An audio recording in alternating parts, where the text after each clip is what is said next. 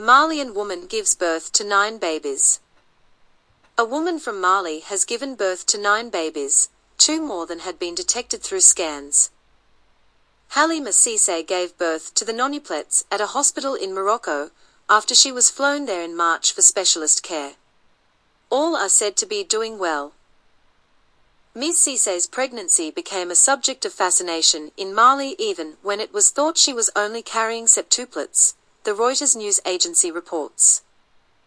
The 25-year-old has become a mum to five girls and four boys, which were all delivered by caesarean section. Her husband Adjutant Kader Arby is still in Mali with the couple's older daughter, but he says he has been in constant touch with his wife in Morocco, and says he is not worried about the family's future. God gave us these children. He is the one to decide what will happen to them.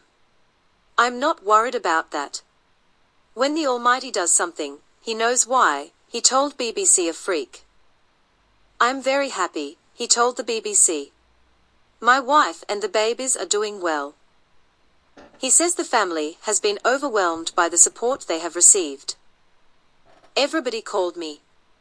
Everybody called. The Malian authorities called expressing their joy. I thank them, even the president called me. The mother and her new nine babies are expected to return home in several weeks.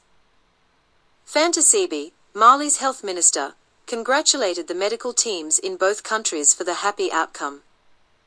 The newborns and the mother are all doing well, she confirmed.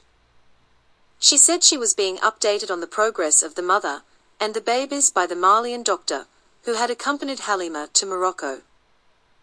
Cases of women successfully carrying septuplets to term are rare, and nonuplets even rarer. Moroccan authorities have yet to confirm what would be an extremely rare case.